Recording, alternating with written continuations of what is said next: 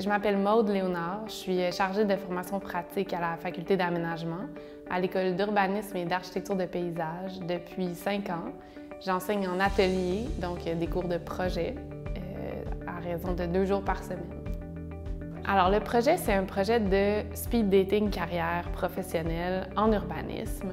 L'idée est vraiment de mettre en contact des jeunes diplômés avec des futurs diplômés, donc des étudiants de troisième année du bac en urbanisme qui ont peu ou pas souvent rencontré de professionnels, donc de les mettre en contact direct avec des gens qui ont diplômé ça fait pas longtemps de notre école.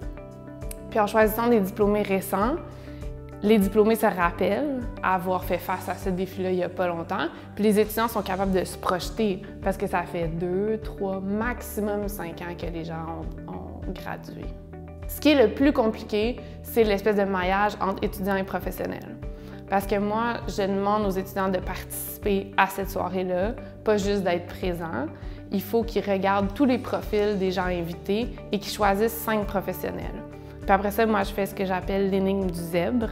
Je fais le maillage entre les étudiants et les professionnels, cinq fois dix minutes, pas plus que quatre étudiants par professionnel. Donc là, ils ne peuvent pas rencontrer deux personnes en même temps. Par année, on parle de cohortes en urbanisme qui ont à peu près 50 étudiants. Quand eux ont cette activité-là, il leur reste une activité individuelle à faire pour terminer leur bac, une grosse activité, qui est comme l'équivalent d'un atelier de 6 crédits, mais à faire seul.